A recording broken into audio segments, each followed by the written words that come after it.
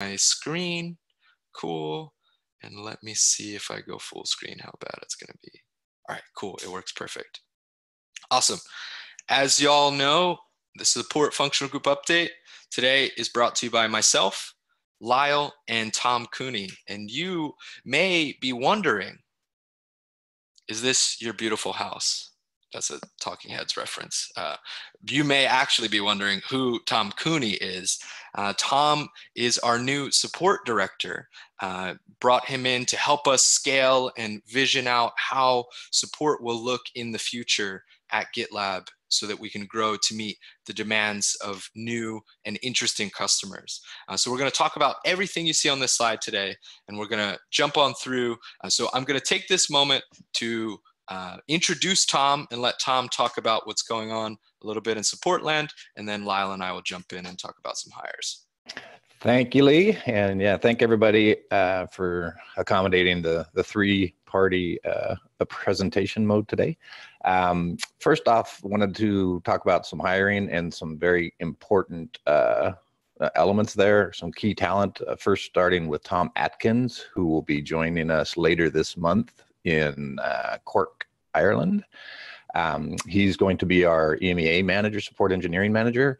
Um, and we're very excited. He comes from Circle CI, has great experience there, also very good experience in remote management of folks. So uh, we're looking forward to that.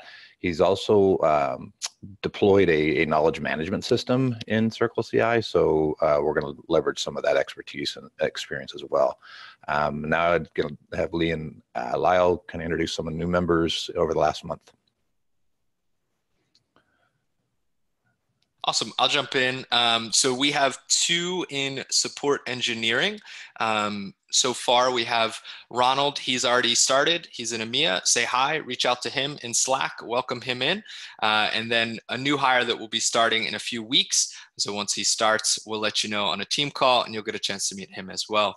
Lyle.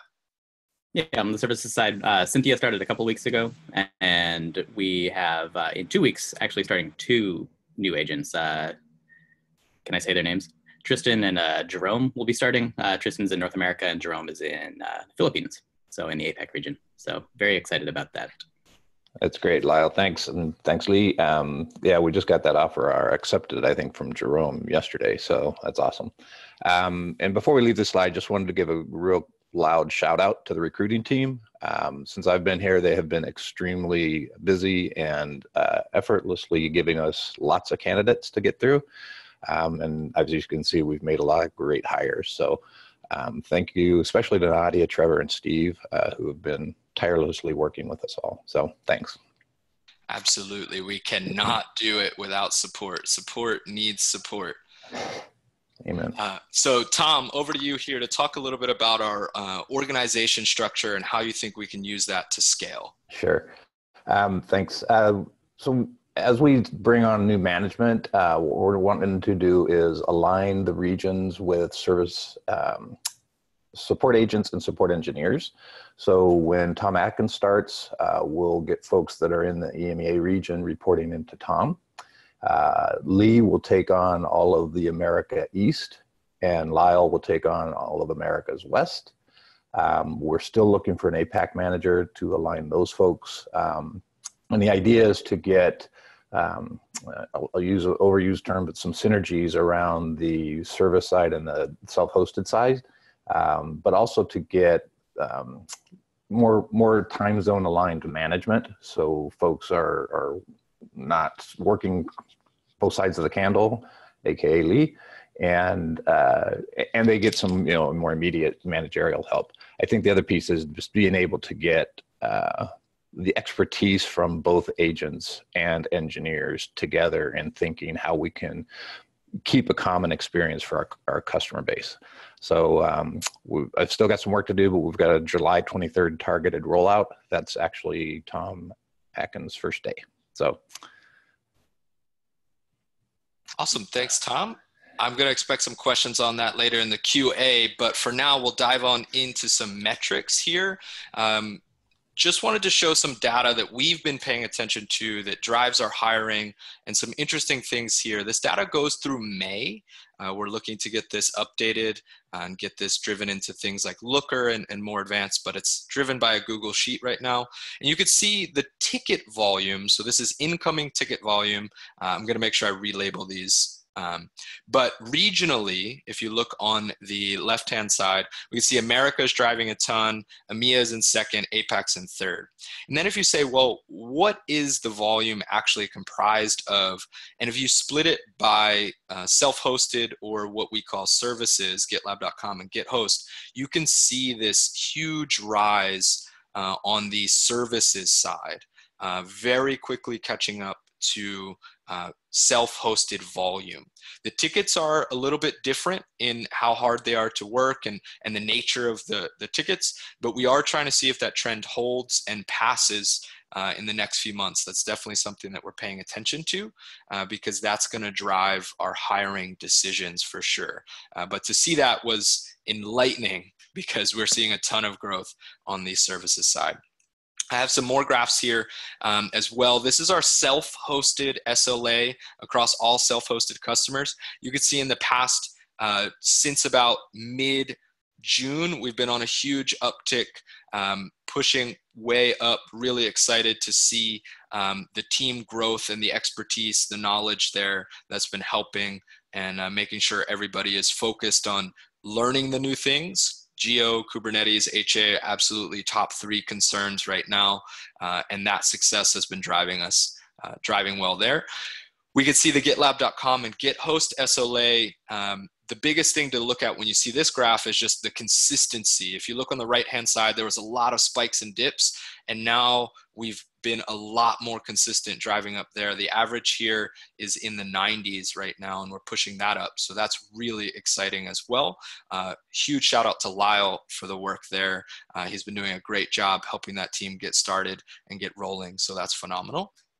And we are going to start thinking about CSAT. Well, Tom will talk a little bit more about that later, but right now, looking at our CSAT, uh, it's about 94% across everything in Zendesk right now. It's 94%, uh, which is pretty good.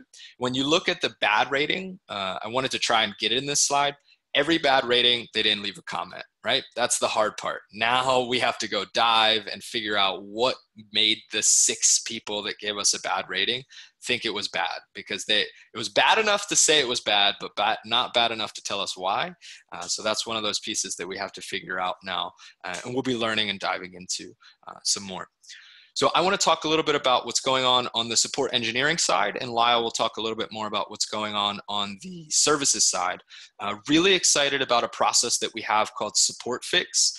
Um, I'll link that text in this deck to the handbook where it explains what that is. But basically, small bugs that supports support engineers find, we should be encouraged and enabled to fix them. We've had three instances of instances of that in the last two months really excited about that.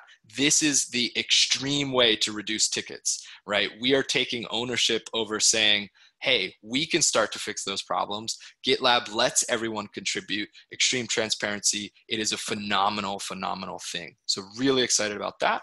We're also working on getting our premium customer priority uh, set up. That's in the MR stage. We have a couple of things that we have to understand about uh, some contracts. So I've been working with Jamie. Jamie on the legal side has been a huge help there. Uh, this should get pushed over the line um, in the next five days or so. And that's going to shift what it means, what type of tickets uh, get different SLAs for premium customers. Uh, so you could check out that MR to see what we're thinking about. This model's closer to what the industry uh, expects, uh, and this model's closer to what some of our larger customers expect.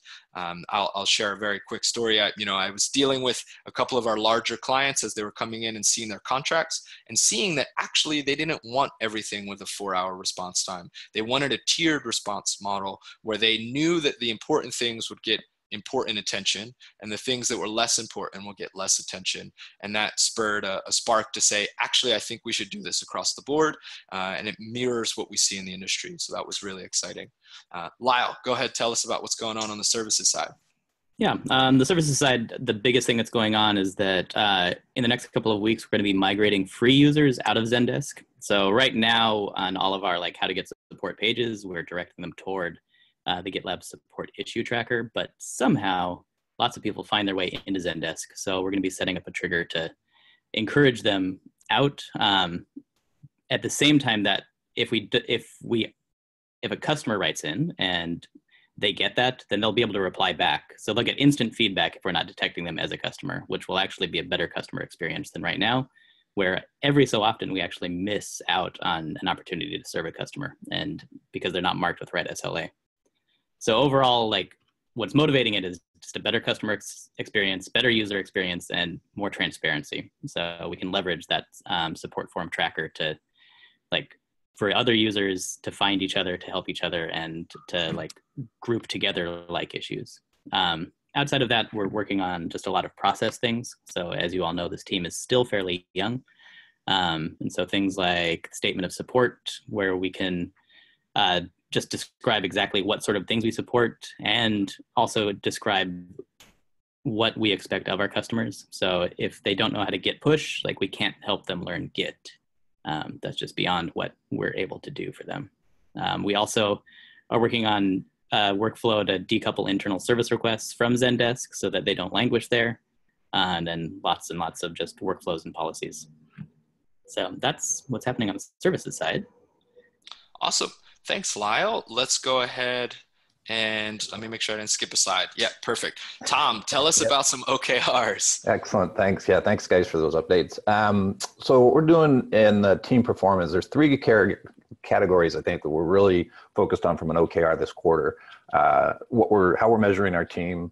Uh, our hiring is still going to be aggressive, and uh, process improvements. In addition to what uh, Lyle and Leah talked about, you know, we're, we're thinking that early steps on what we need to do for knowledge management. I mentioned that with Tom Atkins.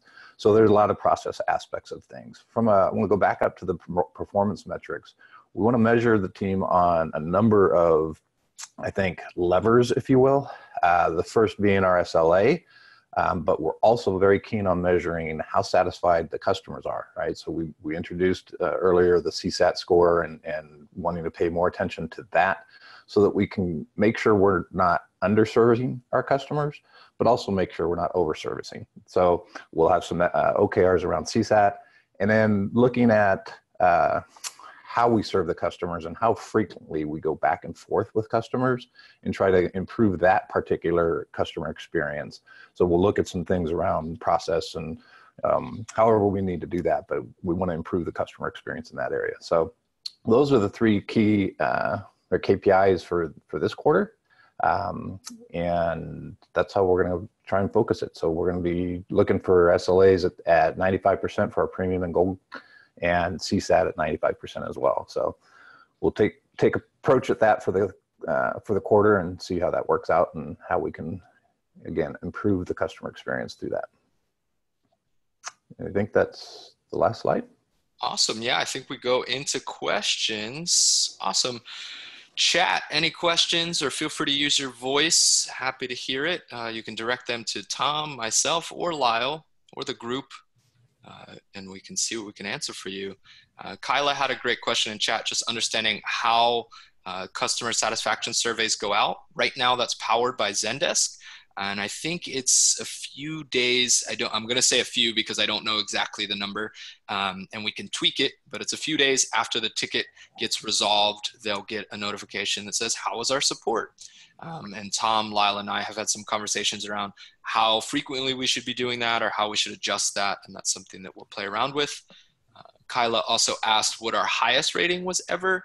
I think we hit 98 at one point, but also it's one of those numbers where on the first of the month with one review in you're at 100% and as more numbers come in uh, those can get shifted a bit. So i think 96 sounds about right for what i would say the average was in the past. So any other questions? Anything else? Uh, kyla got another one in there. Um, yeah so kyla asked do we know how many filled out versus opted out? So we had a 25% response rate. So out of 460, 25% of people um, responded. So yeah, and I, to add to that, I think that the um, yeah, 460 surveys sent out, and that's a percentage, a small percentage of the actual tickets that we solved out. So they don't go out for every sort every transaction, I don't believe. Um, so we'd have to get kind of look at what percentage we're actually sending out. So awesome. Thanks for the clarification, Tom. All right, if there are no other questions, class is dismissed. Hope y'all's learned something and had some fun. Uh, thanks for uh, dealing with our crazy technical three-way uh, presentation. I think it worked out pretty well, uh, and we're gonna maybe do that again. Who knows? Uh, we'll keep you on your toes. Maybe next time we'll all uh, dress up as Star Wars characters or the Fantastic Four or something. we'll figure it out. The three amigos. Yes, three amigos. Awesome. Thank you all. Have a great one. Thanks. Bye. See you around. Bye, all.